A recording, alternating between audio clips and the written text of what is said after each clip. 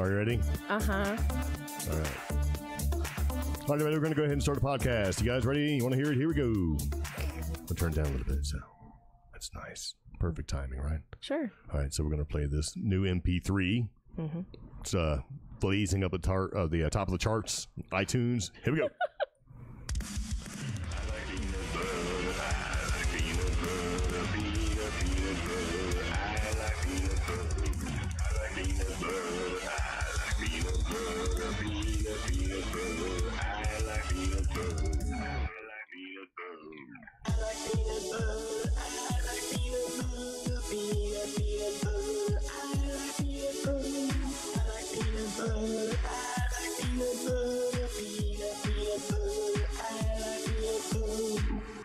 Is your part.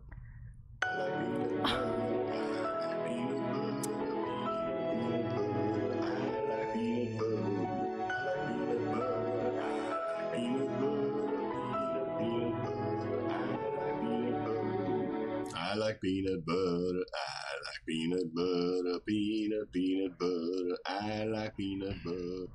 I like peanut butter. I peanut butter. Peanut, peanut butter. You're listening to Cheap Geek Podcast.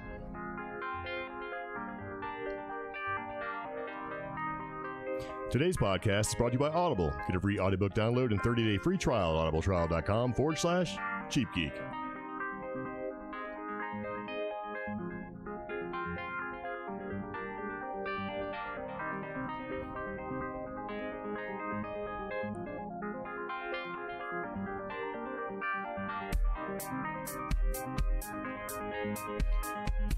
So welcome back to the Cheap Geek Podcast. It begins again. This is episode number 89. Moon volcanoes, Air Force meteor fail, and humanoid stalking moose. Yeah. Okay. So, welcome back to the Cheap Geek Podcast. It begins again. Thank you very much for tuning in on this live stream on Sunday. And if you're listening to this audio podcast on Monday, well, thank you very much for that as well. You can tune into the Cheap Geek Podcast on iTunes, SoundCloud, uh, iHeartRadio, Google Play. Google Play Music, pretty much anywhere you can hear a podcast. You can hear us, Libsyn, um, Blueberry, Podbean, all those wonderful places. So we do uh, appreciate you tuning in. If this is your first time to Spotify, yep. if this is your first time tuning in, you can. Uh, well, here's what the podcast is all about. We're an offbeat news podcast where we explore the strange, the stupid, paranormal, and tech topics circulating the web. That's right, and we do this every Sunday out of the kindness of our hearts. Yeah. And the deepness of our pockets. That's right. Purely unpaid, organic podcast brought to you because we love you.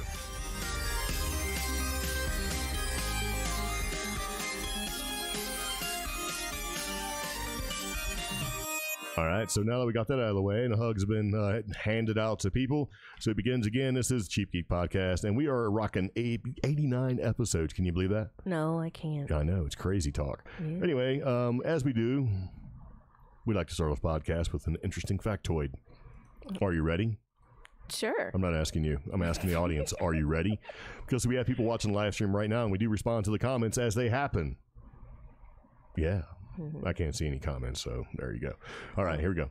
So this random, uh, random interesting factoid for today is. I thought you were going to read it. Oh well, I don't really have one. Oh. Ah, what a letdown, right? Uh, I, I was going to put one on there, or well, okay. So the random factoid kind of ties into more than just a factoid. It sort of ties into what we're going to talk about, but uh, we're going to talk about this at a later date. Mhm. But we're going to talk about this random, uh, random interesting factoid now because I want to do some research. Because remember we talked about the moon a little bit last podcast. Yeah. Well, there's been some really interesting facts about the moon that have come up over time, and I think we're going to talk about that in more great and agonizing detail. But so we'll we'll talk about this random factoid as a sort of premise Yeah. to what we're going to be talking about in the future.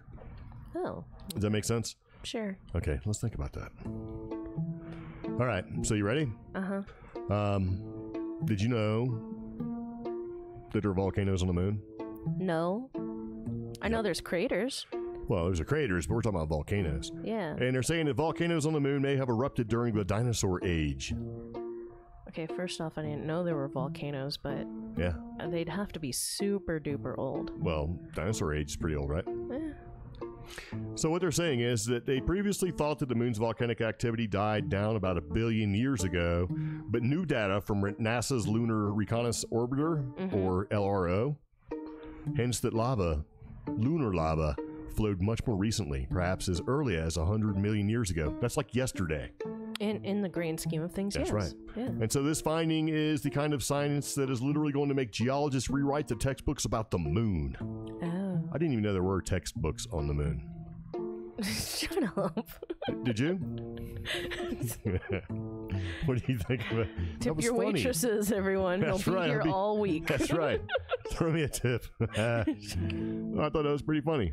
See, because when the orbiter was m- orbiting the moon, right, the LRO, um, yeah. it found out some stuff. But if you go back to Apollo 15, astronauts, uh, did they, uh, the, uh, I can't even say it, Apollo 15 astronauts took images and they found strange volcanic deposits known as INA.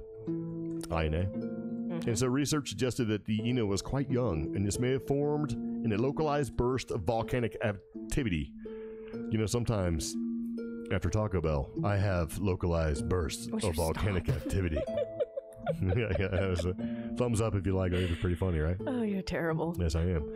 And so they're thinking, thinking this occurred between 3.5 billion and 1 billion years ago. So there's a little bit of a discrepancy there between how accurate they need to be. Yeah. it's about three and a half to 1 billion years ago. Hmm. Still a very long time ago. Yeah. Yes. So back in 2009, when the LRO spacecraft kind of went around the moon a couple different times, and it showed that the INA has lots of company. In other words, there's been patches and similar patches all over the moon Oh. of this volcanic activity. So it's pretty young volcanic activity. So that's something to think about. Yep. I wonder if it like maps out into like a pattern, kind of like here on Earth. Like we have the the Ring of Fire in the South Pacific. I don't know because like it that. says that it's it's a it's a mixture of smooth, rounded mounds with blotches of rough, blocky terrain, and on average they're less than a third of a mile, a third of a mile, about 500 meters across. So they're typically too small to be seen from Earth. Well, but there's that's a high number of them. So well, here in New Mexico, we have a lot of extinct volcanoes, and they're about that size. Like the Three Sisters are about that size. yeah, but these are the patches that they leave behind. I don't know. Yeah. It's kind of weird though. I mean, and they do not look like they were volcanoes, but it's been a very, very long time. Yeah, So, um, oh, because they're saying that, the, that they used a te- uh, that they used a technique that links the crater measurements to the ages of the moon dirt samples that they took during the Apollo missions. yeah, and also the Soviet Union, uh, Soviet Union's robotic lunar missions, Mhm. and that they kind of put them all together, and they figured out that the deposit, they discovered these deposits could also change what they think about the temperature of the moon's interior. And when we talk about the moon in one of our upcoming podcasts, did you know the moon's hollow? no, Yeah, I'll tell you all about it. it's not hollow and full of cheese or something, is it? You don't know. Okay, that's true. I don't. How dare you assume? Don't assume. Not allowed to assume these days. Well, Dirk and So- Brian are assuming that for our live show 100, it's going to be a huge party, and we should probably give do a giveaway of some sort. That's that's what they assume. So That's not even about what we're talking I about. know the comments are just now showing up. So Hmm, let's see. yes, Hmm. So clearly, we need to talk about a live giveaway on the show for number 100, right? uh huh, Yes. yes. Actually, yeah, we can do that. Uh, Yeah. oh, and because we merged the two Facebook fan pages, Yes. certain people's addresses are lost. So when we do the upcoming giveaway, Oh, just stop. Why are you even talking about it? we're gonna need new info. So, All right. yeah. You know what they say, right? What? It's time to get cracking. That's right. Yeah, we can do that. Mm-hmm. I'm gonna find some North Carolina music and play it just to. Okay. You know what? I actually have I have some better music for you. uh-huh. You ready? Yeah. How's that? That's some North Carolina music for you. You're not funny. Yes, I am. Thumbs up if you think I'm funny. For those of you, those of you listening uh, on the audio podcast, you should take this second and pop on over to iTunes and give us a fine quality three to five star rating. We'd appreciate that. Yeah, we'll put the link in the show notes. Yeah. So All right. So anyway, I thought that was kind of weird, you know, because interesting random factoid. I didn't want to get too far into it because some of the moon facts I've been reading about here recently have been pretty crazy. mhm. It's like so, you know. I thought maybe that we kind of tie that in just a little bit. So stay tuned for that. There'll be an upcoming episode. Maybe episode number 100 will be all about the moon. Oh, We could probably do something like that. We'll see. okay. So anyway, all right. Anybody have any questions, comments, concerns? If you do, you can drop us a line. You can give us a phone call if you want. Leave a voicemail. That number is 575 208 4025. Hmm. Yeah. It's a Roswell area code. I don't too. think nobody cares. I know. I know. We say it, people are whatever, who cares? Right? so anyway, come come across some some paranormal and weird news, okay. right? As we do. Right? Yeah. So do you want to do this one? Yeah. All right, do it. Uh, just because it made me mad, uh, but for some reason it's still getting traction. Yeah. I want to say uh, this showed up earlier this week on um, Cryptozoology News, and its controversial video shows humanoid stalking a moose in Canada. So, in Canada, a woman published a video purportedly showing a humanoid walking behind a moose in the woods of Canada. The five minute long shaky footage, taken from inside a vehicle and released by Audrey. I can't say that. Hepburn. Tangway? Tang, tang, I don't know. Tangway for shit. okay. uh, on July 29th, shows a grazing moose on the edge of a road, reportedly in uh, Gaspésie, Quebec. Yeah. A French speaking group of three can be heard talking about the animal and seemingly unaware of the alleged anomaly. As the video progresses, a puppet like humanoid figure awkwardly crouches behind the moose. Then the film unexpectedly cuts out. Um, ugh, through translation, uh, everyone finds out this Audrey Frechette lady. She says, I was filming a moose on a roadside. Looking at the video, I saw this strange shape at the back left. Can someone tell me what it is? Now, when you play the video, um, it's weird. Some people think it's it's a smudge on the uh, on the windshield. Other people think it's just uh, maybe some sort of camera anomaly. But a lot of people are saying this is obviously fake. Uh, one YouTube user says exactly what I say, which is, why are these videos never in good quality? And then other people are saying, it's so clearly just a smudge on the window. Look how it moves on the camera.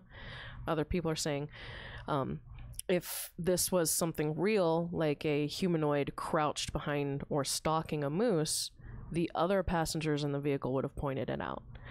But despite you know these very fair criticisms on this of this video, everyone is still resharing this and making it trend. And that's my problem that I have with this. It's not a very good video. There's not much backup or um, follow up with it, but it's still trending, and that angers me. Well, it's going to be. I mean, but you know, if you think about it, if if Bigfoot Yeah. or something super crazy just jumped out in front of you, do you think you'd be all super, you know, professional movie maker man? I would. Uh, You think so? I, don't think so. I've been practicing too, because yeah, okay, there you I go. want- Herein lies the thing. You've been practicing. Most people don't practice this stuff. Most people aren't into photography like we are. I mean, okay, with the, with the friends that we know and the people we know, we we have a higher likelihood of having a friend or a coworker who would be better. Um, it would be apt to be get better video footage that's true. because you know we like it. Everybody kind of likes photography and Yeah. stuff. But I'm pretty sure if you've seen something crazy like that, just go leaping out at you. I, I don't know if I could be clear with it either. Uh, you know, but I mean, I would be pretty loud about it too, though. I'd be you know vocalizing everything I seen. So, So this this weekend, when me and Pepper went hiking, uh, we took a little break under a tree, and there was this hummingbird that kept buzzing us. yeah, And he was way too fast for me to get decent video or even a. I got one blurry picture of him, yeah. but this is a video that is like almost five minutes long. Yeah. And my thing is, why aren't the other people in the vehicle? Because the the article from Cryptozoology says, you know, there's at least three other voices in the video. Why aren't they responding to this? Well, they're speaking French, right? So like blah blah blah blah blah blah blah blah. well, you know, I, I tell you what it is. Probably with the three voices speaking in the video, they're all you know they are French voices, right? Since they're French Canadians, yeah. they're probably all definitely into themselves and have no idea or care about anything else. Oh, yeah. I don't know. A little self-absorbed there. So, yeah. I mean, who knows? Yeah. You know, to be honest with you, it's but I've seen the video. The video isn't very striking to me. Yeah. Um, it's just kind of like, wow, you know, Another one of those filmed with a potato Yeah. videos that we see. And that was one of the reasons why when I seen it a couple days ago, I watched the video and I said, you know, I'm not going to, I don't think I'm going to include this necessarily in the podcast because I just, I didn't feel anything. Yeah. You know, it was nothing that, that struck me as being like, ooh, what is this? It struck me more like, this is some kind of fakery. Yeah. You know, maybe not a smudge on the window because people are saying it if you watch the video and look at the comments, right? Oh, it's a smudge. Yeah. And the camera moves around, and so the smudge makes it makes it look like it's moving. But there's a spot in the video where it looks like that whatever it is, duck, you know, kind of ducks behind trees. You know, mm-hmm. but I, I still don't necessarily. What I personally don't like about that video, and if you watch it, and we do have a link in the show notes, so you can take a look and see. Hmm. Is that the scale of this thing hiding in the bushes is different than the moose? Yeah. I know that the moose is closer, and I know that the moose is like kind of higher up on the bank a little bit. It's kind of a ditch and into some trees. Yeah. But if the scale is right, this thing would be very big compared to that moose. Yeah. Very big. And even though the moose is closer, and it gives you a little bit of forced perspective where it makes the moose look larger, the scale of how large that thing is, it's hiding about 12 to 15 feet away, Yeah. would make it huge. And there'd be no missing this. And yeah, I mean, like I said, the conversations from those people would stop if something that ominous. Yeah, because I'd be driving away. I'd be like, we got to go. Yeah, I'd be like, oh because no. something that big in the scale from what I seen, you know, the thing could be across and like at, in your car or at your car, bouncing on the hood. You know what I mean? In like three swipes, you know, Yeah. like three three stride lengths. Uh, Bob Crosby, who's listening to us, says it's not a smudge. What do you think it is, Bob? so I don't know. I thought maybe Yeah. you'd answer. I don't know. I well, my thing is, it, even if it's not a smudge, let's just say it's like a reflection from like the VIN number that's on some cars or something. You know, because sometimes It'd be more like a smudge on the glass, like bug guts or Okay. something, not like the VIN number. or you know, Because that would be too. That would even the reflection would be. Per, it'd be too square, too rectangle. It'd be too obvious. You know what I mean? uh, well, they have the ones where it's like a little bit rounded. Oh, I know what they look like, but it would So- still it wouldn't look like Yeah. that. But for me, as big as that is, and like, you know, I read an article a few months ago about how fast bears can run and attack you, and it's something like, 35 miles an hour. yeah, like a bear can run like X amount of yards in less than 10 seconds. which is about 35 miles an hour. Yeah. This thing, as big as this thing is, I would be driving away. I'd be telling everybody to shut up, stay calm, and we're gonna see how fast this car goes. So I don't know. yeah, but um, I don't know. It it makes me mad that there's stuff like this. I mean, the only thing in my social media feed for the past couple of days has been the this video and the stupid Kiki challenge videos, which are just not even worth my time right now. So Yeah. uh, it kind of made for a dry week as far as interesting stuff to talk about. yeah. Yeah. I see. I'm watching the video again, yeah. and it's not doing anything for me because I think it moves. Now, coincidentally, it could be moving at the same time that the camera is moving, Yeah. but I don't think so. Hmm. I think whatever it is is something that's been added at the same time the video is taken in the camera as maybe not necessarily a, an effect. Hmm. But I think that it's been generated by the phone or whatever it is they filmed it with. It's like a phone aberration or some sort of like a phone app or something where you can like edit video. I don't know because Yeah. I I get the feeling, and I don't know if it's it's actually what it was filmed with necessarily, yeah. but to me it kind of reminds me of a phone. Huh. You know, Yeah. I, I don't get like a video camera quality, and the reason why I think it's more of a phone than anything else, because where the car or wherever the vehicle is is sitting, it's in the other lane on the road, and the, the lanes aren't that wide. You know what I mean? So it's not it's not like it's like zoomed in. So I guess. yeah, and since it moves with the camera, that's why people are saying it, it appears to be a smudge. But I don't I don't think it's a smudge. I think it's something else. Well, speaking of weird stuff on the cameras, I did find this article while we were talking, so I just wanted to bring this up because it's relatively close to us. Um, flying snake photographed in New Mexico. We've already talked about that. We have? Yes, I don't remember talking about this. I do because I talked about it. Okay, well, it was in Madrid, Yeah. so yeah, and it's just a, another blurry photo where you're like, "What happened?" So Yeah, yeah, and people are like, oh, it looks like it could be a corner king snake, and these pictures were taken about 2012. yeah, Yeah, or the date on the camera's wrong. So. Yeah, and now really what it is, it is. Okay, have you ever seen those things where um, people were trying to figure out what these like long, you know, like rods and remember the, like the whole rods thing where rods be flying around? They're like, what are these things? What are they? Yeah.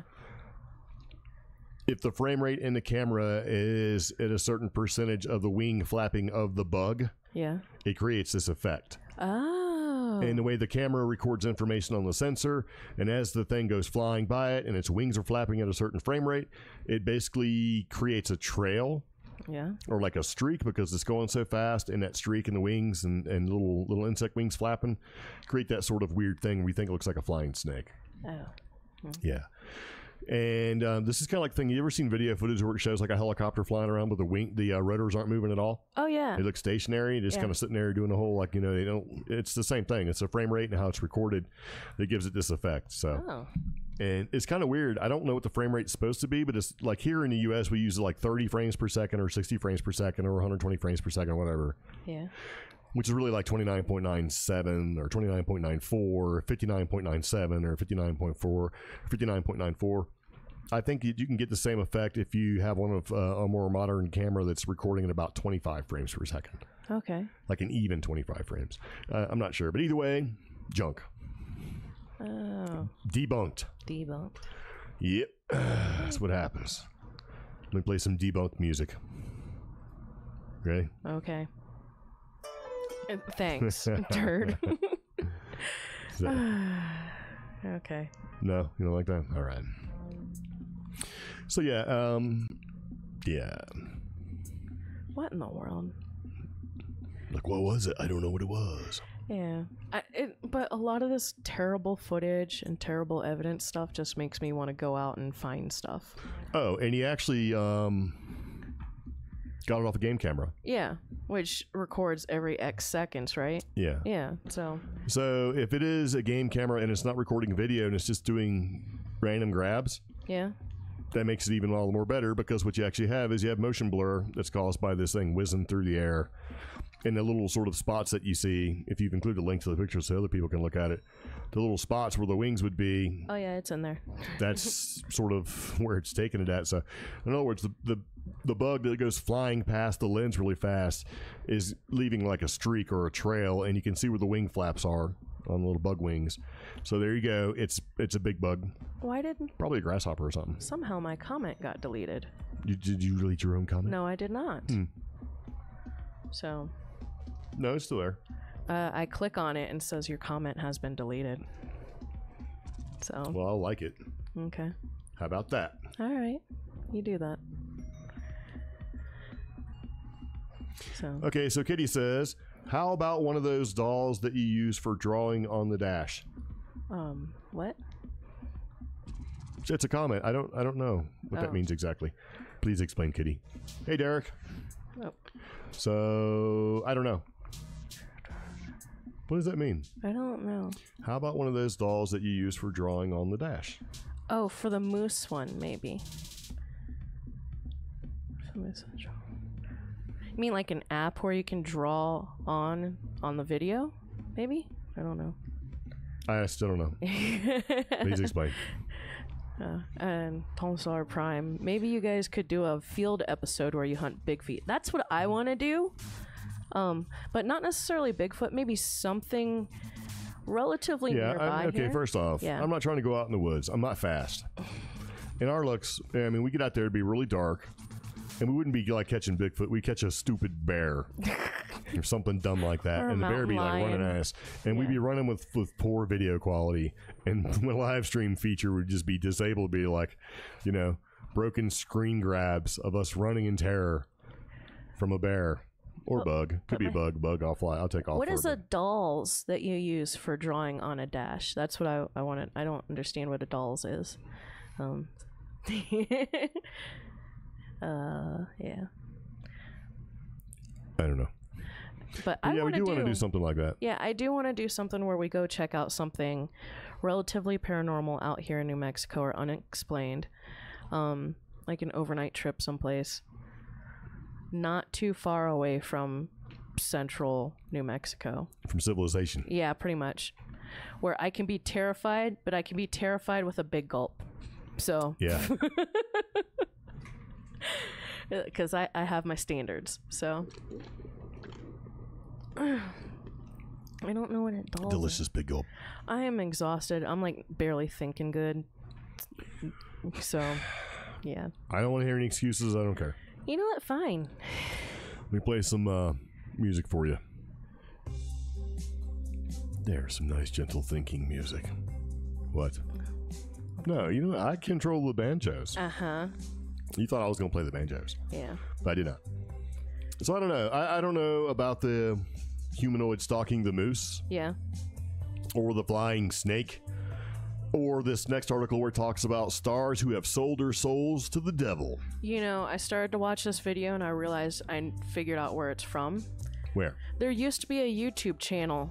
Uh, Called Stars Who Have Sold Their Souls to the Devil? no, it's called like Awareness of the Truth or something like that. yeah. I guess all their videos are gone now, so now they're going to Facebook spreading this stuff. Well, if you look at the awarenessproject.com Yeah. under Music Industry Exposed, Yeah. they kind of talk about some of this stuff. But what I like about it is, is it's like the music industry and the Illuminati. Okay. It's like a 10 part series. so, yeah. Yeah, and like they just show random clips of different people, like Miley Cyrus, Eminem, Rihanna's a big one. Yeah. Rihanna, yeah, apparently she's really into the Illuminati, and they just play a random quote from her. I'm like, that's a lyric, Yeah. and don't read that deeply into it. And Tupac and Biggie. Yeah, Or I think it was, uh, no, maybe this is Biggie. I and don't even know. if you do read into it. For me, your first impressions reading into certain stars' lyrics are not necessarily Illuminati. I would go a completely different direction. well, they're saying basically they sold their soul to Satan. Oh, Yeah, not the Illuminati. yeah. Like, get behind me, Satan. Like that. Well, not today, Satan. Because like the more you watch the videos, the more and more it leads to like Illum- Illuminati or some special secret yeah. organization. Like, why is your hand over your eye in your album cover, Rihanna? Because I'm a devil worshiper. so yeah, we're gonna put a link to it, and like Nicki Minaj talks about this this character she created called Roman, and Roman equals Satan. It's like what? Oh, so Kitty thinks that it's probably one of those um toys it's sitting on the dash and its reflection is somehow bouncing into the camera lens. Oh, that makes more sense. Yeah, I'm like like hula doll. Maybe that's what she. Yeah. So oh. yeah, Oh, all right. yeah. I I mean, I could see if you had something on your dash causing reflection like that, because that's the whole principle behind a heads-up display and how that works. You're actually reflecting things Yeah. onto the you know the mirror, or I mean uh, the mirrored surface of the window or the windshield that gets created when you have light behind it. That makes sense. Katy Perry's a Satanist and sold her soul to the devil. That's what it says. I- See, quote, sold my soul to the devil. Bob Dylan is another And one. she says, sold my soul. It's a dance with the devil, a mercurial wrestle. It's a dance with the devil. That's a song quote from Oh. Katy Perry. Kesha quote, I sold my soul, I ain't no turning back. That didn't even make any sense. Yeah. I'm trapped. If I could go back, I never would. I sold my soul to the devil. I'll never get it back. I just want to leave. That's Eminem. Okay. Yeah, and Lady Gaga. And Kesha, I keep on dancing with the devil. So this Keep link on rocking in the free world. That's Neil Young. You know he sold his soul to the devil. Psh, Blair Witch Project. What? What, what are Yeah. you talking about, Brian? And Lady Gaga was like, I swear to Lucifer. Kanye West, I sold my soul to the devil. oh, they're just playing this entire Kesha song. Oh. And And then Rihanna again. Yeah. So, videos like this used to have a very strong following on YouTube, but YouTube, with their little overhaul that they've done over recent years, Yeah. I guess this channel is gone now. So now they're trying to get onto Facebook and get Ariana Grande. views. I gave into the fire. I knew I should have fought it. At least I'm being honest. Satan. nice. I know that it's my fault. I should have been more careful. Satan. Snoop Dogg, Yeah, the devil's got to me through this dance. Michael Jackson. Anything for money. Snoop Dogg. Would lie for you, would die for you. I'd Oh. even my, sell my soul to the devil. I'll make your life better for you. Can can you imagine or even dream of? So relax your soul, let me take control, and close your eyes, my son. Yeah, Bob Dylan said he made a, made a bargain with the devil. That's old school. He means contract for fortune and fame. I really doubt this stuff. Hey, So this whole thing allegedly or supposedly started with uh, Robert Johnson uh, at a well, yeah. crossroads. I sold my soul. I ain't turning back. Get behind me, Satan. This is so stupid. You and I made a deal when I was young and shit got real. Satan. Nice. Yeah. Snoop Dogg, like you were saying. Well, like for younger DMX. younger folks, you know, who probably aren't, you know, too into jazz history and stuff like that. Uh, Metalocalypse actually tried to teach people about that. Yeah. Like, well, I mean, yeah. he's more blues than jazz. But Yeah, but they Satan. went into that and how blues and jazz were some of the the devil's first music and That's stuff. right. Yeah, And then you know, it be, you know, the, it became more mainstream when Elvis the Pelvis was doing his thing. Oh, Brought the music to the masses because he stole all the blues and stuff. Robert Johnson Bluesmans. is the first American artist to sell his soul to the devil. Well, yeah. However, Beethoven, Nikola, Pag- Nikolai Tesla, no, Nicola Paganini. Ah? Paganini. Yes, is one of the most revered violinists of his time and cultivated vital groundwork for the instrument that is still utilized in modern times. That's right. Devil. He was born in Genoa in 1782, Delicious. began playing the violin at age seven. Uh, he is still known as one of the greatest virtuosos to ever pick up the instrument. Yeah. So he had staggering technical proficiency. And then something about he sold his soul. And once he sold his soul, his music became more diabolical as well as his appearance. And he emitted a dark aura during his performances. Stories about lightning striking his bow and an instance where he played the rest of his show with only one surviving string on his violin have become popular tales surrounding the fantastic musician. Um, the idea was believed so intently that he sold his soul that once he died in 1840, the priests referred, refused to bury his body near any Catholic church. After heavy debates, he was finally laid to rest in 1876. So the history of musicians selling their soul is pretty out there. Yep. I mean, it's just not something that's talked about. Hmm. What are you doing? I'm responding to uh, comments. oh, So you don't need to worry about what I'm doing, and then you know, because then people that can't see what's going on think that I'm just not paying attention. so stop doing that because you do that a lot. Just keep talking. okay. Yeah, got a multitask here. Got a multitask. What am I going to talk about? Well, here you go. I'll play some music for you, some thinking music. Great. There you go. I don't know. This whole silly videos thing, I'm just not buying it. When I see these videos shared by other people I know, I'm just like, skip. Yeah, So, but I thought that was actually pretty funny. Yeah. Um, the whole devil thing. Huh. Because you could just put anybody in there that makes any kind of reference at all to making some kind of deal or bargain and put there you go. Sold it to Satan. so yeah, now here's something I thought was pretty creepy. But and this is on phantomsandmonsters.com yeah. under the weekend two cents. It's like part of their Okay. weekend thing. I don't know why they call it two cents, but Yeah. um, and it kind of goes like this. It's like it, the quote says, "Can't you hear the babies crying?" Oh, no. And so what got me was I, I clicked on it and I looked and there's a picture of Pocahontas, Yeah. like a statue, like a bronze. Yeah. And if you go to the Jamestown, like the Jamestown fort, where they built a recreation of the fort at Jamestown because the original one was too far out in the water Mm-hmm. and since erosion and stuff like that, and, and so they they had to build a recreation further back because the you know a couple hundred years of erosion have taken it away. Yeah. And I know this. I used to be actually a member of the Jamestown Society. Oh. where you did you got to go and you researched colonial history and if you were lucky enough um, you could go dig on colonial sites jamestown and even williamsburg and stuff like that Huh. yeah and um, i did that with the Thoroughgood house and i did that with the there's anyway bunch, when i was younger i Yeah. thought it was kind of interesting so i did it but the story goes like this this lady named Yvonne wrote in to tell the weird experience that she had in Jamestown State Park. So I guess they call it Jamestown State Park now. Yeah. And so here's how it starts. It says she. Uh, here's how she starts it. We live in Richmond, Virginia, and there are so many wonderful historical locations in our area. And I was determined that I would. Okay, and I was determined that my young daughter experienced them all. Yeah. One afternoon, when she was about two and a half, we took the 45 minute drive to Jamestown State Park.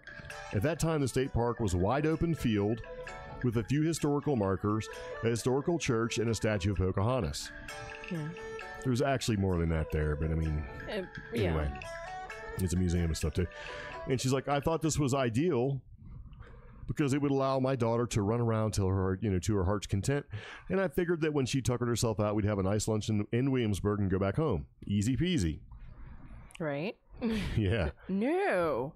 So when we arrived at the state at Jamestown State Park, we wandered around the courtyard of the church. My daughter became absorbed with the statue of Pocahontas for a few moments, and it's actually a really cool statue. Yeah. Yeah, so I mean, it's, it's very nice. and then they walked on, and she's like, "It was just her, the ranger, and I in the park. and There'd been no other visitors that day, and that's that. That happens quite a bit, actually. I've been up there where there's only been like two people there.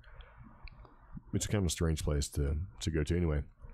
Yeah. Um, and so she said she was happy to have the place to herself. Um, and I started walking toward the throughway, thinking that my daughter was right behind me. And I turned around and noticed that my daughter had stopped walking. And I thought it was because she wanted to go back to the statue. So I said, Look, Tatiana, let's go see the park. And she refused to budge.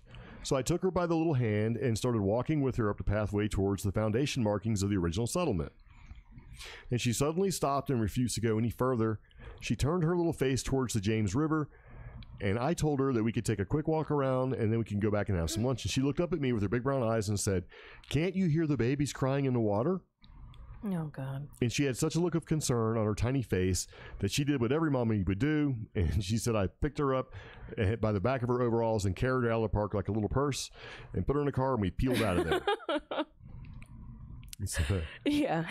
and she says about a decade later, archeolo- archaeologists discovered that a majority of the original Jamestown settlement had been reclaimed by the James River.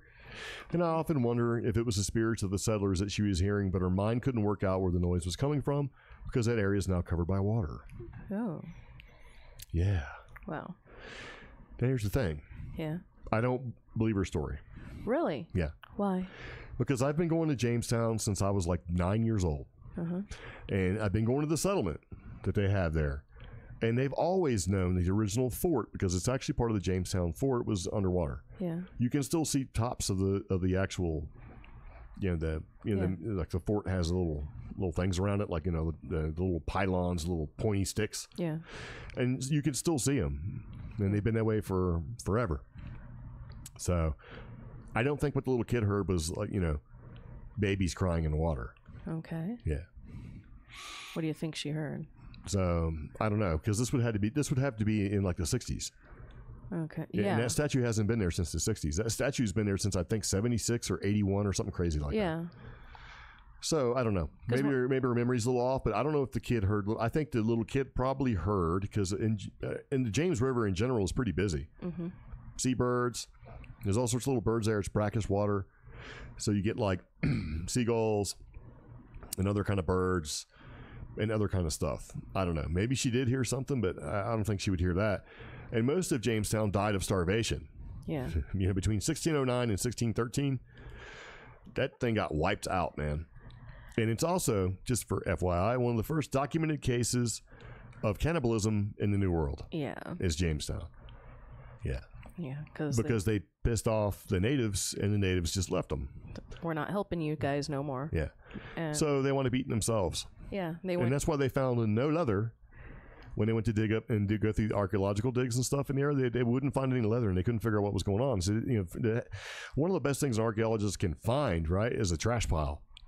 Because you can see how people lived, right? You go digging through the trash, you can find out all sorts of stuff, like you know, copper pipe or the uh, the uh, ceramic pipes or pottery pipes for smoking tobacco and all the other stuff. or if a plate breaks, yeah, you know. ceramics, uh, Yeah. broken tools, all that kind of stuff. Even you know, even what they were eating, is, is no leather. Yeah. Because you know, you eat leather first. You can eat shoe leather. Yeah. Yeah, And then bones. Yep. Yeah. and then each other. Yeah. Yeah, So, uh, babies weren't very common um, out there, but there there are reports. surviving babies yeah. weren't that common. Yeah, there are reports, or you know, people saying stuff like that. I remember um, in elementary school we had taken trips to Back Bay and First Colony and stuff like that, and we had experiences where you know the whole class would hear something creepy, and same teacher. um, Ms. Ward uh, would basically be like, "Oh, it must be rabbits. It, it's probably a rabbit getting hunted by a coyote. Everybody Yeah. move along. Let's all get on the bus and go go eat McDonald's." You know. So we would have small creepy stuff like that happen, but not babies. We'd hear Yeah. So I don't. stuff, I don't know. yeah. I mean, I, I liked it because it actually puts a picture. You know, of the Pocahontas statue, which is actually a really sort of striking statue. Yeah, it's very pretty. Yeah. Now, and I know in my heart that Pocahontas looked nothing like that. you know what I mean? Yeah. But I still thought it was kind of an interesting um, picture. You know. I don't know. But So, ew. yep. There's a, like that little follow up about you know um, when I was in high school, I was a part of a history group that visited uh, colonial sites in Virginia overnight in the dorms of William and Mary, which I have heard is haunted. Yeah. well, that's one of our first colleges, so I Um, wouldn't be surprised at all, actually. And I had an unsettling experience at Jamestown. This was the mid 70s when a lot of the archaeological work was being conducted. And everyone there always felt there there was an overall sense of death that pervades it. I rarely Yes. had issues at historical sites where there'd been uh, death and tragedy, but Jamestown is definitely one of those. Um, I took the dogs to one of the battle sites a little north of there, Yeah. and I kept feeling like I saw shadows or people, you know. So Hmm. I didn't stay there very long at all. I bought a little sticker from the gift shop, walked the dogs about maybe two miles, and said, "Okay, I'm done." Of course, it was starting to get to be golden hour, and the Yeah. sun's starting to set a little Well, all the battlefields out there, and there's a lot of them. Yeah, but everybody says are active. you know. right by the perimeter of the woods. Yeah. that was just not cool for me. Hmm. So, you know, and there's other people out and about, you know. I mean, there was this one couple that was always, you know, maybe no more than 50 feet away from me. And, you know, because they pet the dogs and we said hi, you know, stuff like that. And I, they noticed it as well. And they, they were like, mm, you know, and then they started heading back to their car too. Yeah. So it, it's situations like that with like a place where that's that ingrained in history, and you don't know if it's your mind playing tricks on you, and the fact that locals tell you stories, or if there's just something unsettling. Hey, could it be a deer running around just on the br- the edge of the forest, or could it be possibly a bear, something like that? Uh, but it's large. You see something out of the corner of your eye, and every time you try to focus on it, you don't see it. So with all those colonial area, areas out in Virginia, I would always get a creeped out vibe. That's why I'd bring the dogs. But even if the dogs get all spooked, you go get in your truck and you go home. Yep. So, yeah. Yes, indeed. yeah. All right, so we're going to take a second. We're going to take a quick commercial, and when we come back, we're going to talk about how the Air Force had a meteor fail. dun dun uh, dun. Okay. Yeah. Yes, that's nice.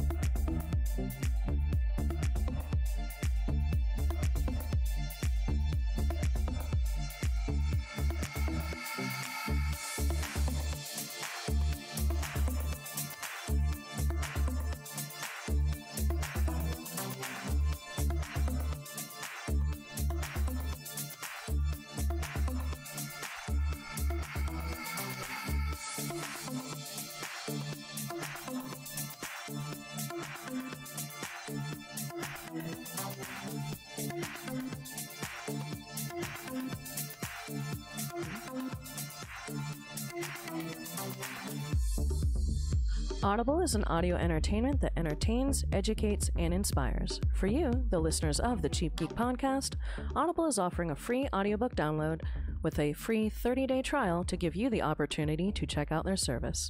To download your free audiobook today, go to audibletrial.com forward slash cheapgeek. Again, that's audibletrial.com forward slash cheapgeek for your free audiobook.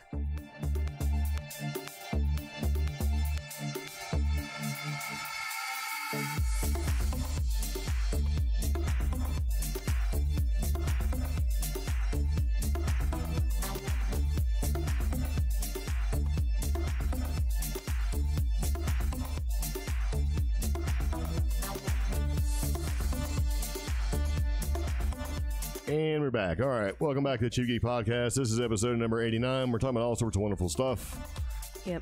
And if you're just tuning in, thank you very much, for, and we appreciate for you uh, to spend some time with us. so this episode was this moon volcanoes, Air Force meteor fail, and humanoid stalking moose.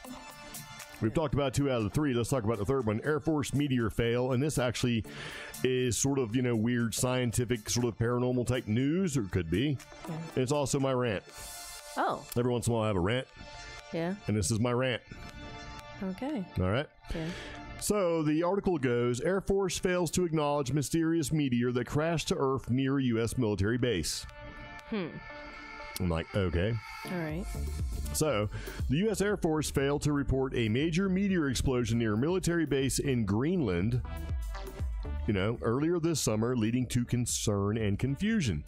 The explosion contained 2.1 kilotons of force and occurred just above an early warning radar at the Thule Air Force Base in June, according to Hans Christian, the director of the Nuclear Information Project for Freedom of American Scientists. Yeah. Already pisses me off, right? Yeah. So, Mr. Kristensen confirmed the explosion in a tweet on Wednesday, suggesting the meteor could have been mistaken by some as a Russian first strike. Boom. Here's where I start to get pissed. Yeah. Okay. So, however, the U.S. Air Force did not release a statement regarding the meteor or even a tweet about the phenomena. Okay. When contacted for comment, a representative of, for the Secretary of the Air Force, Public Affairs, told this article creator, we'll call it the Independent because, you know, why not? Yeah. That's what they're called anyway. Um, we're not providing any comment on that except to say that it didn't impact operations at Thule, Okay. right? Yeah. So, reporting meteor explosions is not typically a job of the Air Force, though it would be considered commonplace for any military branch to at least acknowledge an incident of this magnitude near its, one of its bases. No. Okay. The Thule Air Base public news site includes no information about the surrounding meteor or about the information anyway about any information about the meteor in general right along with you know all the other web domains associated with the base none of them reported anything about this meteor Yeah. so i'm choking on my own spit um, so the incident was actually confirmed in part by data published by NASA's Jet Propulsion Laboratory, which showed an object traveling nearly um, 24.4 kilometers per second over Thule Air Force Base around July 25th, around midnight. Yeah. So yeah, I'm reading this. I'm like, okay. Had the space rock broken through the atmosphere at a slightly different angle, then there could have been potentially fatal consequences. And they even bring up the large meteor that struck the Chelyabinsk or Chelyabinsk, Russia. Remember that one whizzing by? Yeah. Caused damage to nearly 7,000 buildings and injuring 1,500 people. Yeah. That seems like an awful lot because we did not hear about it damaging 7,000 buildings and injuring 1,500 people. It didn't. Yeah. So anyway, right. And it remains unclear why the Air Force did not release a statement regarding the meteor last month, and the military branch contacted its Space Command during the incident, according to the Military Times, and, and they basically reported, you know, that in a piece de- debunking claims about the explosion, because the claims, okay, brought about by the internet. Suggested the Air Force Base was destroyed by the meteor, and that may have been exacerbated by a lack of public information surrounding the incident. Bullshit. Yeah. Here's where I have a problem. Okay. Okay, so this meteor was obviously not a Russian first strike. Yeah. Okay, because Thule Air Force Base, they're an early warning system. They're an early warning base. They know the difference between a freaking meteor that they've been tracking since it came into the atmosphere versus an intercontinental ballistic missile. Mm-hmm. So when you have these jackasses at the Information Project for the Federation of American Scientists, Mr. Kristensen here, who's basically blowing this out of proportion, like, why didn't you tell us? Yeah. Why didn't you tell us about the meteor that flew over you guys that didn't do any damage at all or cause any problems to you guys? We, you could have thought it was a Russian first first strike. No, this is what they get paid to do, dipshit. you know, people don't understand. They think that the military, all the military, are dumb.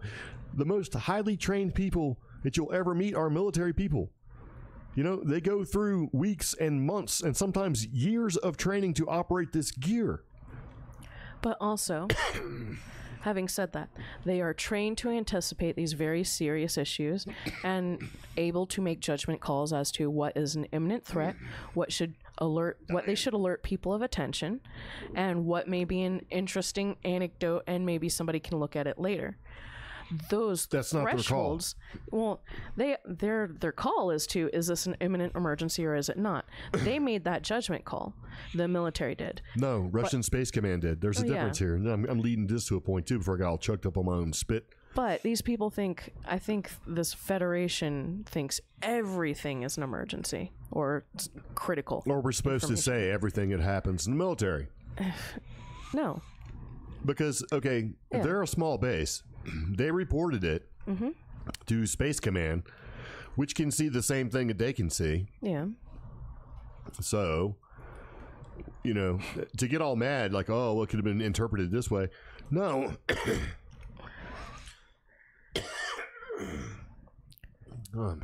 choke on myself. Do you need some big gulp? Do I need a tissue? Ugh. Swallowed some dirt. Yeah. We just came back from a theme park. Full of dirt. Keep talking, I'm dying. Okay. Well, my point with this is I think this federation, um, their threshold for what is considered important news and something that should be thoroughly investigated is not the same as this very small military base who is who's basically one of their jobs is what is critical, what is not critical. You know, what needs to get reported. They reported, they did their job. They reported to Space Command and they reported to the appropriate authorities, not necessarily the Information Project for Federation of American Sci- Scientists, which I'm pretty sure. Okay, great. You're a Very- science club. Yeah, I feel much better now. Um, My concern, though, one of the things that's interesting is supposedly this is uh, 24.4 kilometers per second. Yeah. That's pretty fast. I Yeah. had, I had to go to a website. Like, for example, yeah. how fast does an intercontinental ballistic travel? Um. Do you know? No. They do. Um, at what direction, what angle would they come from? Do you know? Mm. They do. Do you know what kind of energy gets released when they launch intercontinental ballistic missiles? No. They do. Yeah. Do you know what direction they're supposed to come from? Uh. Same direction that the. No. Oh. Okay. They do. My point is, is that they know and they would know if it's to be worried about or not. Okay. And they almost make it seem like for whatever reason that they didn't know what was going on that maybe the base was possibly destroyed and that since they didn't react or act about the whole thing uh-huh. that there's some kind of fault, at fault here. Or maybe that they're just dumb. Yeah. i don't know because what I don't like is I don't like when people who don't know what the hell they're talking about throw information out there and then try to you know paint it like oh look what could have happened and here's something too And look who if this really was a meteor supposedly. and it, if Yeah. it you know was off by a few degrees and it could have destroyed the base, what the hell would they have done? I don't know. Nothing. Yeah. There's nothing you can do. I mean, all they do is they look for you know if Yeah. something's coming in, what's going to stop that?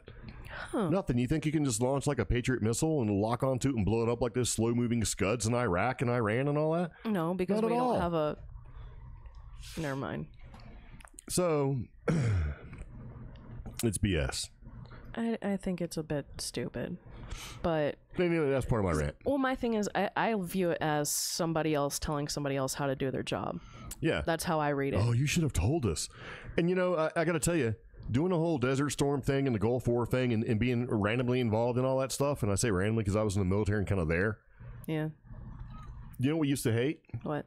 when we'd be getting ready to do something and there's freaking CNN reporting, oh, look at these guys, here they go, they're getting ready to do this, giving away everything you're going to do. You know, Yeah. it's like, oh, there, well, you know, we would watch CNN and go, okay, well, there, you know, we know what's happening now because we can watch freaking CNN who's telling everybody in the world what you're trying to do. Yeah. Yeah. I don't know. It just kind of bugged me. It's like, really? You know, oh, they could have been destroyed. Well, no. the little meteor made. Yeah. it's like, uh, you know, and, and when we have our Space Force, it's going to be so much better. Uh, Kitty is like Hans Christian Andersen. Yeah. Yeah. Uh, Somebody telling some tall tales, in my opinion. Um, but yeah. I like what Timothy says, and welcome, Timothy, by the way. To create public, uh, to create public panic or not, I think a lot of this stuff is what we get when we get people that try to sensationalize news to keep to do this to kind of keep you on earth, uh, keep you on uh, un, unhinged, if you will. and I also think it's it is Anne Marie's here. Hello. it is something that happens within the media where if you start to stack the smaller articles in the direction of a certain viewpoint, both sides, if you start to stack those articles in a certain way, you can basically um, make people's opinions of Sure, you can get- sway yeah. opinions and you can instill, uh, Yeah. instill panic and you can do all of that stuff. Yeah. And it starts with these small, stupid articles like this. Like, basically, I'm going to tell you how to do your job. Yeah. Or I'm going to say, hey, you should have done this, but since you don't know how to your, do your job, look what could have happened. See, maybe next time we won't be so lucky. You know what? Maybe quit being scientists. If you could do this job, go go join this military base and go do your stuff. Yeah, I don't know. It, it's way more convoluted, you know, and not all scientists are Yes. uh, knowledgeable and all this kind of stuff, but it's just, I just thought it was kind of, it just, it gave me a little, not anxiety. What's the word I'm looking for? But hurt. No. Why would I be butthurt? I'm not butthurt about this. I'm angry about it because Chafed. Chafed. It gives me the red ass. Red How about ass. that? That's probably a better thing. Gives me the red ass. So you know what else gives me the red ass? What? This next story. Uh. Okay.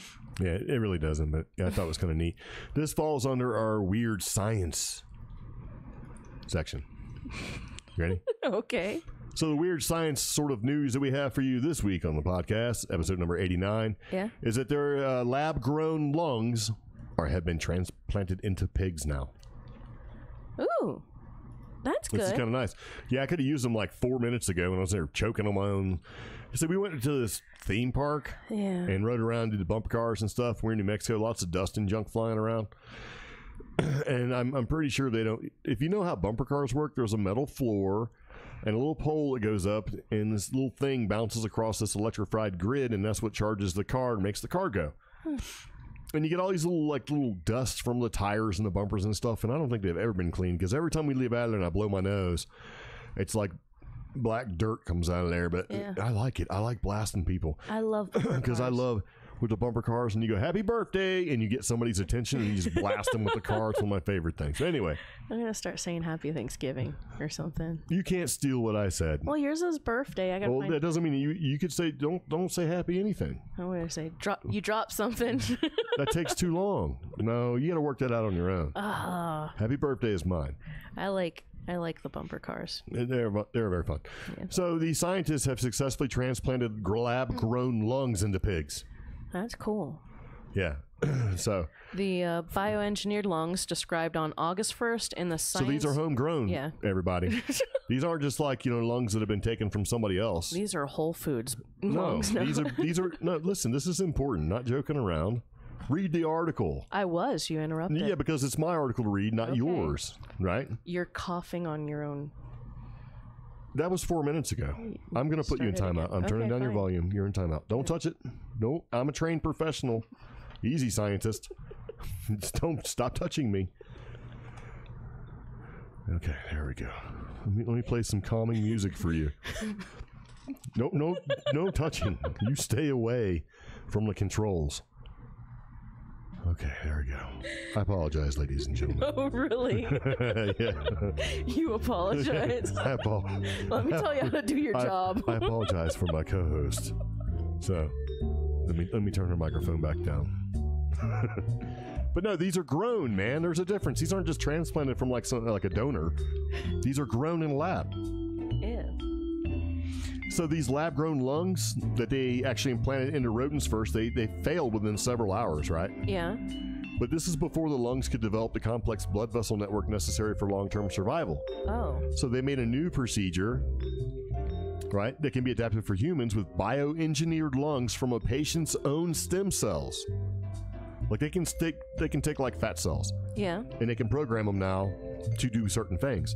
And one of the things that they can do that we're reading about in this article here is that they can basically make these cells grow lungs. I think that's kind of cool. Yeah.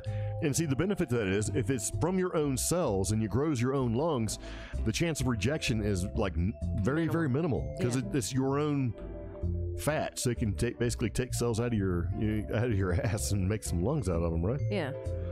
So if they can get this to work and it can be adapted for humans and be successful, right? Yeah. It takes the risk of rejection away and the wait times for organ transplants down to like very, very minimal. Oh wow. So right now there's got like 1,500 people, Yeah.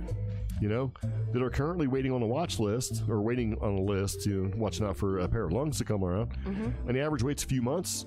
But if the study works out and they bring it to the next level and it becomes a thing, they could just grow your own lungs. And there's a little key thing that I love in here, which is that none of the animals that had these new lungs were given immunosuppressant drugs, and none of the transplants were rejected. Yeah. Uh, that's a really key part because in order for some of these new technologies and these new organs that were growing in different animals, not just the the donor but the animal growing the organ have to be on immunosuppressants for a very long time, which damages the overall vitality of the organ.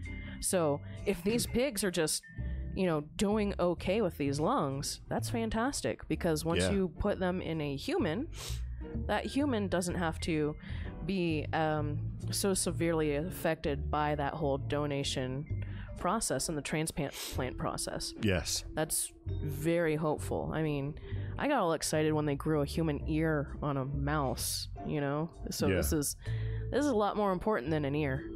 this is lungs. Yeah, man. So yeah, um, transplants are just really difficult things, and it's it's nice to read a news article that you know we're making progress. yeah. And they actually built these lungs Yeah. because this is what I thought was interesting. Um, they built the lungs for four pigs by using a sugar and detergent mixture to strip the cells from the lungs of donor pigs. And that left sterilized, pearly white lung shaped scaffolds, right? Made of intercellular proteins. And then they took these proteins, right? Mm-hmm.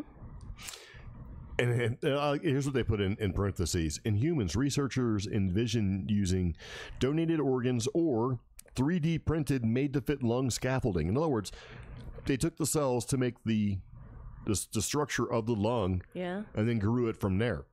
Huh. Okay. So they're building these things in layers, and you know each engineered lung grew for 30 days inside a bioreactor tank, kind of like um, you know the uh, was that Bactine tank or whatever it was called that Luke Skywalker was floating around in. I don't A tank just like that, right? Yeah. And they grew it for 30 days inside this bioreactor tank, pumped full of nutrient cocktails that help cells stick to the scaffolding and multiply in the right spots. And then the researchers then replaced the left lung of each pig with the bioengineered version. Huh. So, excuse me, after the surgery, um, one of the pigs survived for 10 hours, Yeah. and another one for two weeks, Wow. and a third for a month, and a fourth for two months. That's incredible. Yeah, huge, Yeah. huge. From ten hours to two weeks to a month to you know to two months is uh, it's getting exponentially bigger, right? Yeah. Yeah, so if the amount of survival or the rate of survival is much larger at every time we do this, I mean, it's just it's going to be a matter of time before they actually get this. To me, that means the science is good. They're on the right track. This is really promising. Um, and Timothy points out lungs are us, which, you know what? I'm fine with that. If Philip Morris wants to open up a lungs are us, I'm cool with that. See. yeah. After they did the, the autopsy, it says inside a pig's body, the bioengineered lungs blood vessels plugged into the animal's natural circulatory system, supplying the organ with oxygen and nutrients. oh wow. so they put it in there and it just sort of grew its way back to being part of the body see that's what i think is interesting because that's crazy And talk, a lot man. of time that process is stunted by those immunosuppressants and these other drugs that while these drugs suppress the system and allow for slow growth, sometimes they make that growth too slow. Yeah, Yeah. and it even had a chance to colonize the bacteria that normally inhabit normal pig's lungs, Ooh. which is a sign that tissue is developing normally and integrating well into the body. But you know, here's the caveat: these lab-grown lungs aren't ready for quite for prime time. Aw. Right. and it says while the bio engineered lungs linked up with the pig's circulatory systems, the organs weren't connected with the animal's pulmonary arteries, which carry the low oxygen blood for the lungs and replenish from air blood, you know, being breathed in. So it left the pigs to rely on their natural right lungs for air after surgery. So, what does that mean? It means that okay, so the first step in this whole thing was that that the blood to supply the organ was there and it was connecting and doing the right thing. Mm-hmm. The next step is hooking the organ up to the pulmonary artery to ensure that the bioengineered lungs get oxygen in the blood as well as normal lungs. So if they get those two things done, I mean, there's a million other things I'm sure, Yeah. and this thing can actually start processing the oxygen. That's freaking incredible. Yeah. So it's entirely possible that in the next 20 years, you can go, you know, oh, hey, your lungs all crusty. Let's get some fat cells and grow you a new one. Yeah. That's crazy. I think it's cool. It's very cool. So there you go. What do you think about that? I Bioengineered lungs, I'm- nutrient reactor. What was that thing called? yeah. Uh bio I don't remember biotank or something. Yeah. It was called um, bioreactor tank. Bioreactor. Quick, get in the bioreactor tank. Hurry. I have a cut. Get in the bioreactor tank. Oh, it's called a Bacta tank. Bacta tank. That's what it was Yeah. from Star Wars. Yeah. Quick, get in the bioreactor tank. Very nice. What do you guys think about that? Huh. That's nice. Some scientific music. Science. And just in case you were wondering, Indonesian pygmies didn't descend from hobbits, according to a DNA analysis. Like, is that really a thing? That people really think that Indonesian pygmies came from hobbits?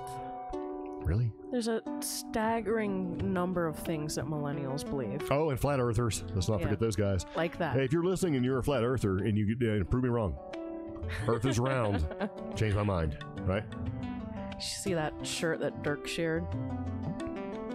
No. It was from NASA. It's like, uh, we checked, and it's like around Earth. Oh, yeah. Yeah. Yeah, it. It's like we checked. Very nice. Huh. Ah, Brian says Philip Morris, smoke our cigarettes and get a free lung. Yeah. Nice. You got to collect those little coupon things they used to put in there. Get some Marlboro bucks. Marlboro. Yeah, get some Marlboro bucks. You know, get a 150 million Marlboro bucks. You get a lung.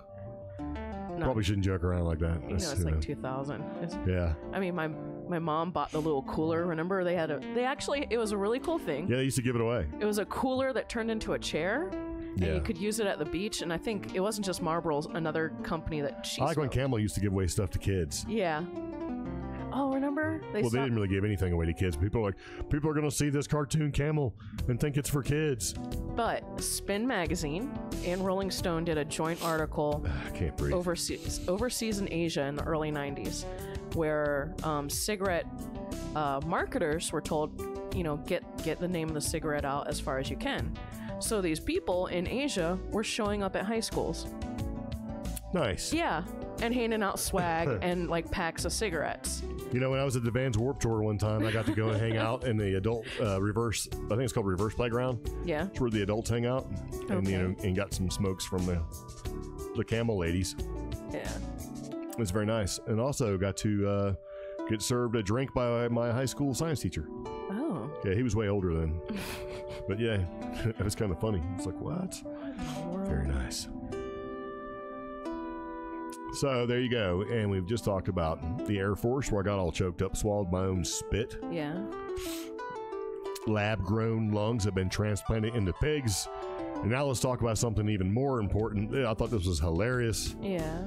and somebody posted this, and I'll, I'll give it. If this person is listening tomorrow, they normally listen to the podcast after the fact. I'll play this little this little snippet for you. This is this person. total bullshit. Yeah. Uh, that person uh, put this on the Cheap Geek Facebook page, and here's how the article goes. And I, you know, and I've I'll, I've almost seen this before, but it wasn't at Costco. Yeah. Yeah. It was at Sam's Club. South Carolina, I don't know how to say septuagenarians. Septuagen- septuagenarians. septuagenarians spar over Costco samples. And this is in Greenville, South Carolina. So, Which is kind of close. yeah, yeah, we know exactly where this is. Because the only time you ever go to Greenville, Spartanburg is because of the airport and they got a BMW place out there, a factory. Yeah. But so free samples briefly turned into a Costco warehouse club, or briefly turned a Costco warehouse club into a fight club for two senior citizens. so the state newspaper in Columbia, South Carolina, cites a July 26 Greenville police report saying it began when a 72 year old man cut in front of a 70 year old man who is waiting for a complimentary piece of cheese. Oh wow. You know how it is. If you go to Costco or Sam's Club and it's sample day, Yeah. you see the old geezers out there and they're like, oh, here we go. Because you can eat in that entire place, man. You can eat lunch pretty much, Yeah. which is funny because there's another article about somebody's Tinder date taking them there. yeah. That's funny. yeah. So it happened again as the 70 year old was waiting for a cheeseburger sample. See, shit's getting real now. Yeah. Okay, so the 72 year old guy cut in line, got him a piece of cheese. Now, the 70 year old guy said, okay, I'll probably just let that one slide. But now they're in a cheeseburger sample line. Right? Yeah. 70 year old's doing his thing, and boom, here comes the 72 year old guy. right? Yeah. So it happened again as the 70 year old was awaiting a cheeseburger sample. First, there were angry words and then a punch. oh. So police say the cheeseburger stand worker confirmed that the Hawaiian shirt clad 72 year old then smacked the 70 year old, causing his hat and glasses to fly off. The 72 year old felt that the man, other man was aggressive and was about to hit him. Oh. So I'm still a little unclear as to who did the smacking first. Yeah. So it says first there were some angry words and then a punch. Right? Yeah. And then it says that the 72 year old then smacked the 70 year old, causing his hat and glasses to fly off. So did the 70 year old throw a punch? And then the older guy just smacked him like a bitch and made his like hat and glasses fly off because of the whole cheeseburger thing. So there are different re- reports from different news outlets, um, That's true. That's why Yeah. police are seeking the surveillance footage. which we've been waiting patiently for over a week now, Yes. and Costco has yet to release a They need to release the footage. I want Yes. to see if the older guy got the best of the younger guy or vice versa. I bet they were both wearing New Balances and dad jeans. Probably. one of them, you know, one of them was rocking that Costco Hawaiian shirt. yeah. just jumped up there. But I've seen another article where it paints the 72 year old crustier guy As as, a bit of an a hole. Yeah, as the one who threw the first punch. Yeah. But then there's another one that says that the 70 year old guy was the guy who shoved first. Yeah. See, I heard So, that too. yeah. And then the 72 year old 72 year old guy retaliated by smacking him like a bitch. it's like I just backhand him, get back in line, youngster. Yeah. But I like how these two old grandpas are just basically just like you oh because you could just see it. I could see it happening.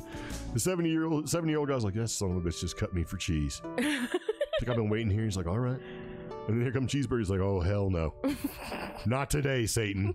And then Not here they go. Yeah. and they're scuffling over cheese and cheeseburger samples. Don't start prime. World mm. star. Telling you, man, world star. I would That would do be that. funny. And I'd like to see after the 72 year old guy smacked the 70 year old like the thug life glasses. Nah, nah, nah, nah, nah. oh, man, that'd be so great. Yeah. Hi, Ty. So, you know, that's just embarrassing, right? yeah. It's like, hey, man, is that your grandpa? Is your grandpa smack that other guy for some cheeseburger? It's like, yeah, man, grandpa loves cheeseburgers. Because I could just see him saying, I was in Korea or something shit like that, right? It's like, yeah, I thought that was pretty funny. I didn't fight in Korea, so you could cut Yeah. me. So when I seen it the first time, and then I seen where Scott posted, it, I've been waiting to see if there's been any news. yeah, there's no footage. No. I actually typed footage, like you know, uh, Costco fight footage. Yeah, Costco Fight Club. Yeah, and I didn't see it, but No, I was hadn't very mad. it either. Man, that'd been great. Let's see. Yeah, there's a fly in here. I hate these. I hate these things. Oh wait, Hey, wait, has it been updated with some footage? I'm tr- I'm trying to. Well, while you're looking Yeah. for that, there's some good news, or some, I shouldn't say good news. There's some important news that you should be aware of. Yeah. Yeah. If you're ever in Colorado, the Colorado Sheriff urges travelers to lock your car in bear country. I mean, not because of thieves and stuff like that. You just want to lock your car because of the bears. Costco released the footage only to the police. Yeah. so it's not out there for Yeah. general consumption yet. So, um, according to Conifer, Colorado, travelers in Colorado are being urged to lock their cars when they're in bear country. Right? Yeah. So, the Jefferson County Sheriff's Office in Colorado posted a video on Facebook that shows what can happen when a car is left unlocked Ooh. and a bear smells treats inside. So, an officer used a rope to open the door and to awaken the bear, which which seemed to enjoy the food contents of a small station wagon before taking a nap. Okay, so I haven't seen the footage or anything about this, but I'm about 100% sure it's probably a, a Subaru, Okay. right? And this bear got in there, ate up all the stuff, and decided to take a little nap. And it's like only thing that was left was a half-eaten banana Yeah. as the bear ran off into the woods. And the sheriff's office wrote, "It's positively sure." PAWS Yeah. that locking the doors reduces the chance of losing important items, items, important important items, and having a vehicle trash. So, but they don't put a link to the Facebook page because I was don't. like, yeah. I need to see this footage of this. What did it do? I'm Tie a little uh, rope around the door because the bear's in there zonked out, taking a little nap, I'm actually trying to find it right now. all gorged on your Clif bars in your Subaru. Right? Probably tore up your Crocs too. No, wait a minute. Oh, here we go. No more Crocs. Do you have a link? Yes, I'm trying to make. There we. Go. Oh, this is. Oh, it's a. Is that a Subaru or is that? Yes, it is. It's a Subaru. Told you. Yep. So here we go.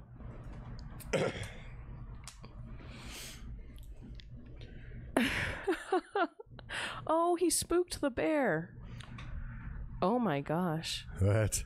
Is it bad? Yeah, well, the damage to the car is bad, but they didn't really indulge the bear. I mean, all that work, I would have expected more snacks. That's probably You know what would have happened in the country? If that would have happened in the country, right? Knowing what I know about people in the country, they just would have walked over, opened the door, and went, get on out of here, go on, like that. Well, didn't your brother have a bear tear up his truck? Um, not his truck, no. Okay. But look, he just opened the bear ran away. Yeah. Look at him going as he runs towards the house where the people live. Look at that. that. What a dirt bag. He just ripped it all up, man. Yeah. Trashed the Subaru to pieces. Shredded it. Yeah. wow. Wow. There you go. That's what you get for leaving snacks in there. And look, he took a picture. Uh, it says, "Bear in mind, lock your doors." So there you go. They they played this up, man. They were like the you know like fugitive is spelled furgitive. you know. So Wow. I actually, I think I'm going to follow the sheriff's department. They've got some interesting just stuff. Like a road rage incident and some other stuff going on. So, Yeah. yeah, I'm going to follow these guys. you should. I think it was pretty funny, but Yeah. I put the link to the video in the show notes. yes, So, you should check it out. Now the thing about the, the bears in general, as they you know get in your car, the black bears, man, yeah. they're not quite as big, of course, as the brown bears. But they can be. They can be pretty large, mm-hmm. but they have really really sharp claws, and they they dig and rip when they smell food. Yeah.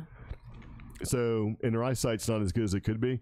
So, if they smell like a, a bit of cheeseburger from Costco behind the back seat, they'll claw through the seat to get to the smell of the cheeseburger.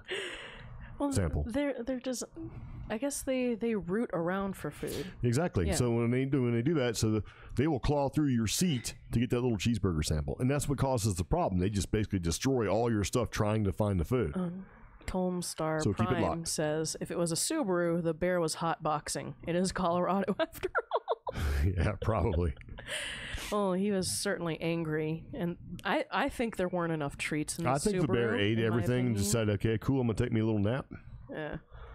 So, you know, it's funny because if you can cl- go up to the car to tie a string on it, why don't you just open the door and hit him with an air horn and then just jump back out of the way? Yeah. I don't know. I don't know. But you know, I'm not a bearologist, so I don't know. Okay. I don't know if that's a proper thing to do or not. So we'll see. Could be. You know what I mean? Okay. Very nice. So we have some news, some breaking news. Okay. Do you want to do this? You- Um, you actually talked about this a while ago. I did. Yep, What did I talk about? Hold on. the article. Uh. Oh, okay. So, I I've actually been interested in this subject for a little bit, and this article is an update to that, and that is the fact that A tiny home village, plans for that in central New Mexico are finally moving forward. Um, Bernalillo County officials announced Thursday that there's progress on a new tiny home village. The $2 million project aims to help get homeless people off the street. The county released a list of six possible sites where 20 to 30 homes would be built. And uh, this list is. Oh! It, so it's it's not just like Bernalillo. Yep.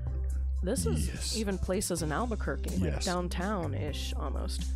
Um, excuse me. County officials say the village would be gated, the homes would have heating and cooling, electricity, a bed, a desk, and a chair. Um, which is interesting. I guess they're going to make um, restroom. Fac- oh, there's a picture. Okay, so I'm assuming it's going to be communal restroom, Yes. kind of like a almost a campground. Yes. Oh, oh no, it didn't. Here, let me share the article. Now, I've really wanted to take a tour of a tiny village or, you know, tiny home community. Yes. If this moves forward, I, I think we should do a video on it. Okay. Yeah. but if you're So- interested in this, um, here's a link to the sh- to the uh, announcement. Yeah, and there's actually going to be three community meetings to determine a final location for the village. But I think it's kind of interesting that they would kind of go through this. And uh, be honest with you, Albuquerque or New Mexico in general seems to be on top of doing something first Yeah. without really thinking it through. Yeah. And my thing is, that price point is kind of low. Two million. That's that's a wonderful price point. Well, here's the problem that we Yeah. actually have with the whole thing. Yeah. The two million dollar project aims to help help homeless people get off the street. Sure. So what they're actually making is these little small dorm room type things that are primarily for homeless people. Yeah. You know, why, why won't they just let people create a small home community just for the people that actually want to do the small homes? Because some Why are they going to start it with the homeless people first, and then everybody else. which is going to cause problems because, I mean, you know, it's going to be like a structured tent city, and people are going to go, well, that didn't work out at all. And then any hope that you have of, of becoming part of a small home community, you know, where you can get a tiny house, basically what we're talking about, the tiny houses, you know, under 250 square feet, I think is what is considered a tiny house or something like that. yeah. They're not going to let them do it. Because this, unfortunately, while this project seems to be well intentioned, the background behind this project is not so wonderful, and that is the fact that those tent cities and the fact that Albuquerque does have a home a significant homeless problem. Right. um, those tent cities and where people chose to set up their mini homeless camps and stuff like that are in areas where affluential people Right. consider it an eyesore and detriment to their existing Right. And, and that's what's going to cause, you know, Yeah. like say you decided you're going to buy, maybe you, you're a land developer and you're like, I'm going to buy 50 acres and put a small home community on it because all we're going to use is solar, yeah you know, and dig a well for water and we'll have a communal building and all that stuff. And, and they're going to go, no. yeah Like, nope, they tried that in downtown Albuquerque and the only thing they did was had like a concentration of homeless people that caused more problems. yeah and the whole thing was a wash. And the mayor just went to like Texas to see what they're doing with their homeless.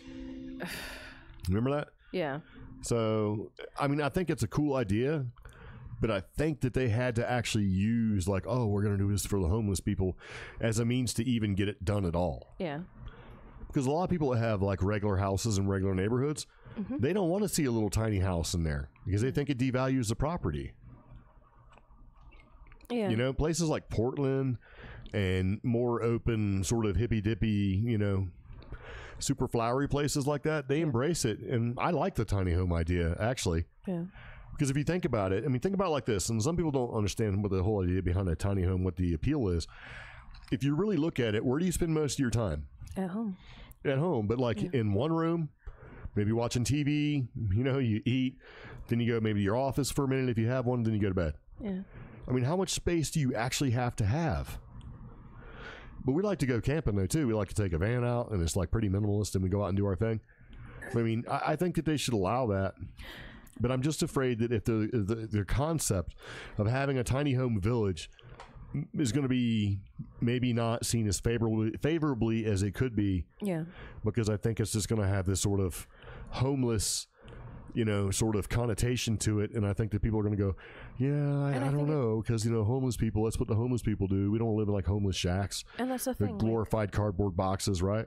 Albuquerque has hasn't embraced the the paying customer of the tiny home community. No, they haven't. They have not. In fact, any tiny homes that you have heard of, they're already in Bernalillo or they're in Tijeras. Yeah. Or they're you have to go north into Santa Fe and Taos. So I think this issue wasn't researched enough. I mean, why why won't you let the people who have means, enough means, create a tiny home population? Yeah. And see how that goes before you execute it with the homeless project. Yes, the homeless issue here in New Mexico definitely needs to be addressed, but is Yeah, this and the it's, right it's way? primarily because the weather is amazing. You Yeah. can come here and sleep on the street, and you're not going to die from exposure. Yeah, well, Gallup. Gallup is an example of where the homeless population, the transient homeless population. Well, yeah, because Gallup is an interstate town, and when you're going to, like, say, San Diego, yeah, you're going to go through Gallup but they do have people dying of exposure. in the wintertime, Yeah, sure. So, but I, And some mayors, and this happened when I was in San Diego, here the mayor would give these guys bus tickets and send them to New Mexico. So you got to get out of town. the president's coming for the Yeah. Democratic Na- National or the Democratic National Convention. yeah, This is uh, like when Clinton was going to get reelected because I remember this one was there, and the mayor boy he got in trouble uh, for you know pretty much giving out these free bus tickets and send them to New Mexico. oh, that's so bad. Yep. Yeah, So look, you got a choice. You can be locked up, or you can go, you know, to New Mexico. And a lot of them say I'd rather just be locked up yeah. because what happens if you get locked up? Shower, Food. food, got a place to stay for a while, you know, and it makes sense if you're out there homeless and and if you if you're homeless not necessarily by choice and you're having a tough go of it, you get medical care, you mm-hmm. get the food, the shower, you know, a little workout place if you want. It's like a spa with murderers and rapists and killers. that's terrible. But you know, I mean, think about it though. Oh. Yeah, Yeah. But yeah, I, I don't know. I, I, I think a tiny home community solution would be nice, not necessarily in downtown Albuquerque, because you are going to encourage a more transient population. Colorado already has that problem. yeah. Um, and why not let the people who do have means accomplish a tiny home community and then execute this strategy? Yeah, I mean, maybe if the if the tiny home village plans move forward Mm-hmm. and they start putting those permits, maybe then that should be the time for people that want to do tiny homes start throwing them in there. Yeah, Yeah, because right now, I, I don't, I don't know, man. Kitty pointed out it would have to be run like a shelter if they wanted to prevent problems, and, and I that's agree. that's what's going to have to happen, yeah, I guess. where you have to, um, you know, you have to keep your room clean, regular checks to make sure there's no narcotics. You know, maybe a Yeah. curfew even. So I don't know. yeah. so Well, hopefully, hopefully it works out. yeah, I mean, I, I like the idea behind it, the tiny house for sure. yeah, What I don't like is that it used to be so as an inexpensive alternative, but now the cost per square foot to build a tiny home can be just as high as building a regular home. which angers me. Yeah, it's like uh, okay, it shouldn't Yeah. cost this much, but why is it costing this much? Well, I was talking to a um a coworker and he has the plans for an A-frame Yeah, and the supplies and it's like uh it's like twenty eight thousand dollars. yeah, I'm like, wait, you can build a full size A frame for that now? But then a tiny home, the plans and everything are forty? Yeah. It's ridiculous. What the heck? Uh, I mean, honestly, you can get plans to and the materials to buy and build like a cabin for eight grand. But if you want to completely finish, it's a different story, you know, Yeah. because you're going to pay more. So it's crazy. Uh, I mean, even back if you look at like containers and the idea of using containers for container homes, Oh yeah. if you look back in like say 2005 2006 when i first started you know kind of researching and figuring it out Yeah. you can get some of these containers for like 300 bucks yeah. where we were in virginia and now they're like oh yeah you can get one for like maybe three 400 but i mean these were the big ones these were like the nine foot by 20 foot long containers Yeah. were like 300 bucks and you paid like a 250 bucks to have it delivered so 550 bucks you got nine feet by you know it was like nine feet wide by nine feet tall by 20 feet long Yeah. for like five six hundred bucks. So you could buy two of those, and now you got eighteen feet, right? Yeah. Eighteen feet wide by twenty feet long. by nine foot tall. That's that's a big house if you think about it. Yeah, that's a small. That's a nice ranch. Yeah. you know. I mean, it doesn't have to be that big. I mean, eighteen. I mean, if you, what's the, what's the math on that? What's eighteen times twenty? I don't know. Let me fire up the calculator. I'm too tired to do math right now. So let me see. Calc. Calculator. well, 18 by 20. Okay, at least 360 square feet, and that's not counting the height.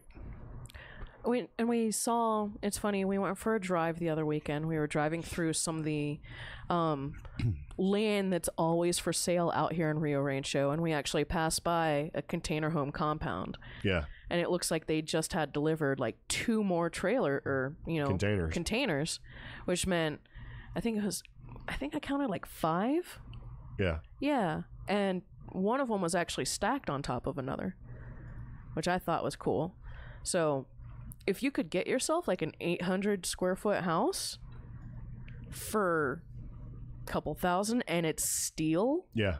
that's amazing And a lot of them actually Yeah. come with hardwood floors uh, yeah because it has to have a hard floor to be able to support the weight for all the product, products or whatever's inside that thing. yeah So you basically just polish the floor up when you get done, and you have these big rough, you know, hardwood timbers. They can't do like a. they- They're not going to do like a um, well why not pine wood floor. why not execute a strategy like that? Because that's another thing. You granted the prices on individual containers have gone up but if a city walks, like walks up to one of these shipping companies and says we need to buy 20 of these i'm pretty sure they're going to get a deal you know? Yeah, but again, since they become so popular every time, the cost for building, the cost to build out one of those, yeah. the, the cost per square foot yeah does not make it viable really anymore. It's just almost the same as just building it if you just hand built everything. oh, that's true So I mean, at one time it was like you could build you know, with your container house. It was nine dollars and twenty cents per square foot, and now it's like up to twenty four dollars per square foot, or it can be up to between twenty and twenty four dollars per square foot. Whereas the cost of building a regular house, depending on where, of course, all this depends on where you're located and everything, yeah is like twenty eight dollars per square foot. yeah So it's like, wow, I can build a, a, a real house or I can build a container house. yeah i remember the And a container house, you know, typically has different rules and stuff. You have to get different permits. yeah the marketing for So one of the crazy. neighborhoods my dad looked at in Virginia, it's like the marketing was twenty six dollars and thirteen cents per square foot. Yeah. And I'm like, okay, that's less now. Yeah. Okay. Well, that was part of the bargain. It's like, wow, you know, with, with all the, Yeah. yeah. But okay. I don't know. I think the homeless issue does need to be addressed here, but I also think there's just so many other issues that could make New Mexico a very great place. Like, you know, well, at least Albuquerque, a very great place, but Yeah. they need to address those issues as well. Um, Taos and Santa Fe seem pretty accepting of tiny homes and and weird homes in general. I mean, earth ships and stuff like that, you know? Yeah. So, why not? I mean, really, the trick to it is if you can buy a piece of property that has no restrictions and you have all the mineral rights, then you can do whatever you want. That's true. So, there you go. Yeah. That's what to look for. But other than that, I think we're about to wrap up the Cheap Geek podcast Okay. because we have very little else to talk about. well, have we been watching anything? you tell me. Uh, you've been watching Voltron. Uh, well, no, I finished watching Voltron. Oh, okay. And uh, I just started watching uh, Dark Tourist. It's available on Netflix. Um, yes. the the presenter kind of rubs some people the wrong way. He seems, uh, um, I don't know, a little wimpy, in my sense. Yeah. Uh, but I am still watching it because it's interesting to see this man's perspective get changed or just, you know, his exposure to things that he hasn't ever thought about Yeah. happen. And the goal of this show is basically this guy is going to destination type vacations and trips that aren't your common, oh, I'm going to Cabo or oh, I'm going Yeah. to Disney World. These are like, oh, I'm going to Chernobyl. Yeah, like going to Chernobyl or going to like Santa Muerta festivals in like Yeah. Mexico. Or I'm going to go to Colombia and I'm going to take the narco tours. yeah, you know, and and that was that was one of the episodes that kind of bothered me because he met with the guy who, uh, one of the Narcos henchmen, who has actually done Yeah, his his time. right-hand man. Yeah, did his time in pre- prison. Now he's a YouTube celebrity. This guy killed like 200 people. Yeah, Like, legit. I mean, he did his time, and he says that he is no longer committing crimes, but the presenter had a very twisted angle when interacting with this guy. And my thing is, um, He's lucky.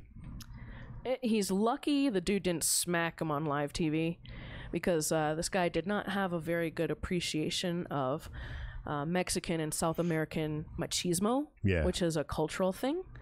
And you see that come out when he interacts with certain cultures. Uh, he went and visited some culture in Southeast Asia that does animal sacrifice for funerals. And he just it came out a little snobby when they were sacrificing animals to celebrate this funeral Yeah.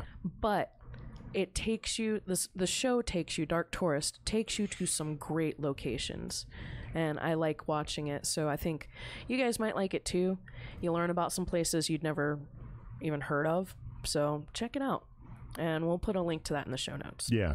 so yeah Dark tourist. Very nice. yeah. And then over on uh, YouTube, you've got a couple of videos. I'm working on yet another video. I'm trying to get into doing videos again on a regular basis. Um, mine are all about rocks, though. So check them out. It's Leftovers for Dinner, You're a Cheap Geek on YouTube. Just search for us. Now, if you need to email us, email info cheapgeek.net at gmail.com. Attention, Gregor Omi. If you have a business inquiry or you want information about the show, send it to that email address. Music credits for this podcast episode. All music is licensed under the Creative Commons by Attribution 3.0 license or licensed under the Creative Commons by Attribution 4.0 license, and all music is linked in the show notes. And that's about it. Sweet. Yeah. Very nice. Yeah. So I think we're going to go ahead and take a second and kind of wrap it up. Oh, okay. Do you have any uh, questions, comments, concerns? Email 'em Very nice. or call the show. Yeah, so um, if you'd like and you want to join us, uh, we have a Cheap Geek Facebook group, and every Sunday we do a live stream of the audio podcast. So there you go. Other than that, uh, it's been it's been good. So thank you very much. See you later. Take it easy. Bye. Bye bye.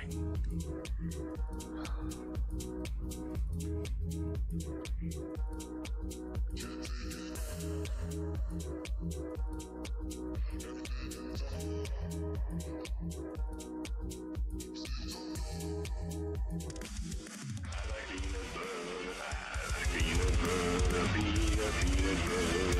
like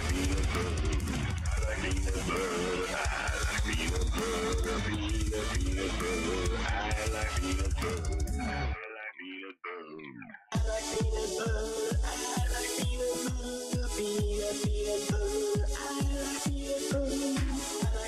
butter.